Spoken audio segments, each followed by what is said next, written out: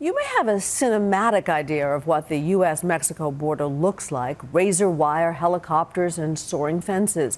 But tonight, as the Senate passes an immigration bill that nearly doubles the over $18 billion spent annually on border security, we travel to a remote part of Arizona where that vaunted border might just surprise you. In some places, you can walk right over it. So, what's all that money buying? ABC's Byron Pitts steps into the thick of things to find out.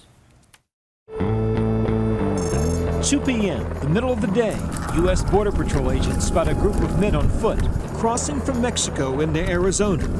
And the race is on.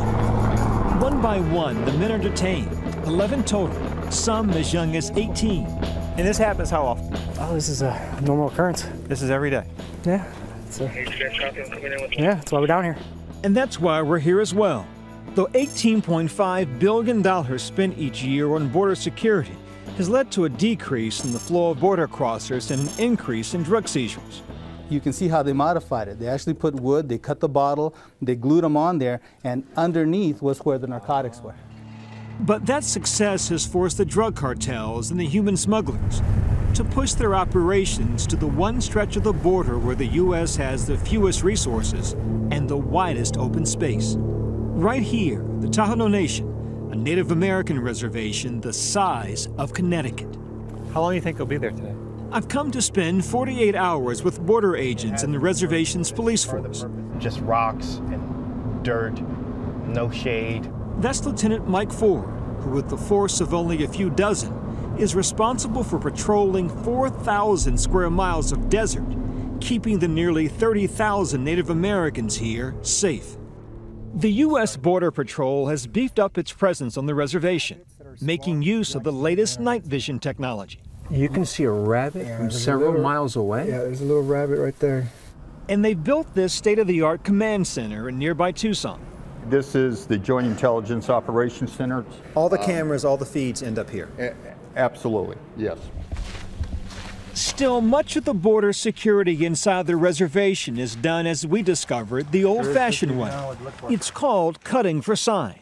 Trained officers literally looking at the ground for footprints, tire marks, or unnatural damage to the vegetation. They're just sitting around out there. If you're out there cutting for sign, you're looking for uh, foot traffic, looking for uh, shoes. The border fence here is not what you would think. Those iconic images of sky high walls topped with razor wire. Here, it's wide open, all but for a string of low fences and poles buried in the ground. A deterrent to vehicles crossing here, not people. Right now, we're at the international border, so Mexico's over there, a few feet con el partido político. I questioned the border crossers apprehended earlier. This 26 year old, a school teacher from Guatemala, with a university degree, he says, but unable to find a job. How long have you been walking? Seven days. Ah. Seven days you've been walking. That must be hard. Scary? Sí. What happened? What have you seen? Hay ladrones. Hay gente que lo secuestra a uno. Based on all that you've been through, all that you've seen, Will you try this again? No sé, la verdad, no sé. He doesn't. Your, your smile says yes. We noticed all of them were carrying the same camouflage backpacks, wearing the same camouflage shirts. A fashion statement, it's not. These shoes, when they are tracking them, right, a boot like mine would leave a footprint. These shoes, these carpet sole shoes they wear, no footprint. So they're hoping they can wear these to conceal their their movements as they try and cross the border. But these people caught and facing detention may be the lucky ones. As smugglers and their human cargo make their way across this desolate terrain, often what catches them is Mother Nature. We're usually talking about, on average, about six bodies a week. And once you get out there, and you run out of water, they got no hope of coming back. And the ones with no hope end up here, the county morgue. Nameless casualties, if they go unclaimed, and most will, they'll be placed in unmarked graves. More than 100 bodies recovered in recent weeks, and it's just now the start of the hot summer when temperatures can exceed 120 degrees. While overall border crossings are down 43% from two years ago, it's a different, more complicated story on the reservation. where drug seizures are steadily climbing. Nearly 500,000 pounds of marijuana seized last year, a number that's nearly doubled since 2010. It's not about whether it's people or drugs, it's about the money. The money. Soon dusk falls on the reservation. Lieutenant Ford and his men suit up in SWAT gear for another long night of patrol. They've invited me to ride along. Under the cover of darkness and the cool desert air, drug and human trafficking picks up. Uh, 13846. Uh, well, I think you're chasing large amounts of narcotics is pretty dangerous, especially out in the middle of nowhere. The first traffic stop. They detain a woman who can't explain why she's on a federally protected Native American reservation, nor where she's going, who exactly she's come to see. Um, I came looking for a friend. Detective Elk Dreamer isn't buying. I think she was probably down here to pick up. She's making up that story. They let her go with a warning.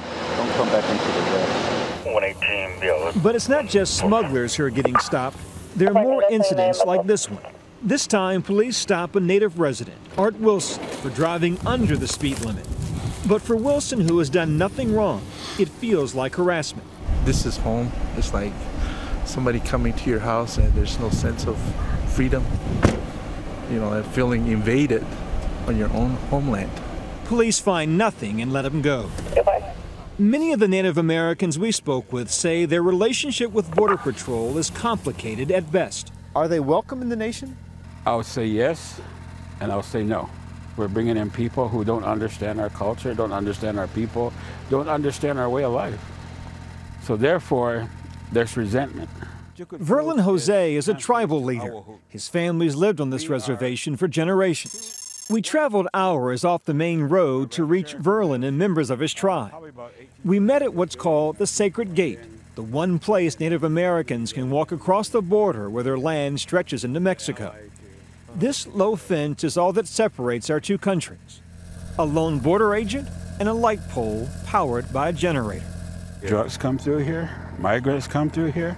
And with it, a myriad of problems. Homes are getting broken into, vehicles are being stolen. They seem to be getting more aggressive. Aggressive. The cartel is becoming more aggressive, bringing their product through your community. The Border Patrol is becoming more aggressive to stop it. Yeah. And caught in the middle. We're caught in the middle of it. It sounds like your beloved nation is either the doorway or the doormat to the promised land for the drug trafficking and the human trafficking. Unfortunately, that, that is correct. Verlin's cousin, Francine Jose, lives in a remote part of the reservation.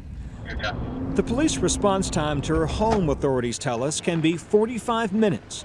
And the border crossers who walk across her property know it. And this is where they went through the home. My home, they're constantly breaking in all the time. Breaking into your home? Yes. I would say once every month. Once a month? Mm-hmm. There was one just recently where they cooked stuff about a month ago and just left everything. They broke into your house, Yeah, stole your food, and cooked it on your stove. yes. The tangible proof of the escalation of the traffic across the border in this part of Arizona, I find inside this room at police headquarters. Okay, what we have here is our processing area where we process our uh, our drug seizures. Over a million dollars worth of marijuana confiscated in a week. They've been weighed, and we're getting ready to put them into evidence. And there's more that's about to be added to the pile. Because on this night, just down the hall, a group of suspected drug smugglers were just captured, being held in these cells and then interrogated. Six of them with loads of marijuana, their clothes and carpet shoes on the floor. One is a young woman visibly upset. You can smell a little bit, but it's wrapped pretty pretty tight, right? And This drug smuggling apprehension so fresh, the bags of marijuana are still in the back of a truck in the parking lot. what does this tell you? The fact that your folks were able to, to capture this tonight. Is this success? Is this, you know, a drop in a bucket? This is success, I mean, because it represents money.